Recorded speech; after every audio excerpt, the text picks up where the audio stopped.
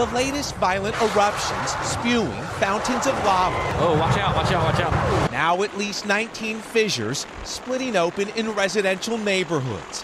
Gas so toxic, it's killing trees and grasses.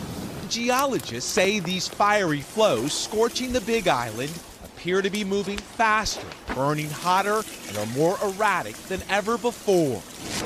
After destroying yet another structure, lava is moving closer to Sang Chong White's home, just a half mile away.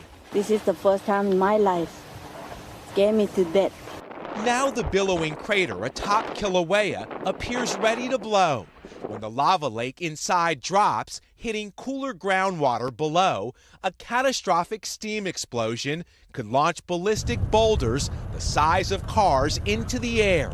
From the air last week, we could see smokestacks and the steady progression of the lava field.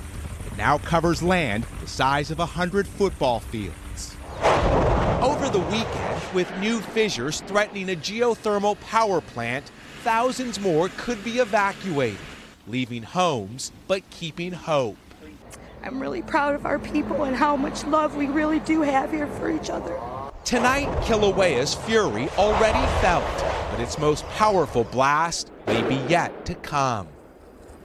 With dozens of structures destroyed by the lava, including this home, you can smell the sulfur in the air, though at this area it is safe to breathe.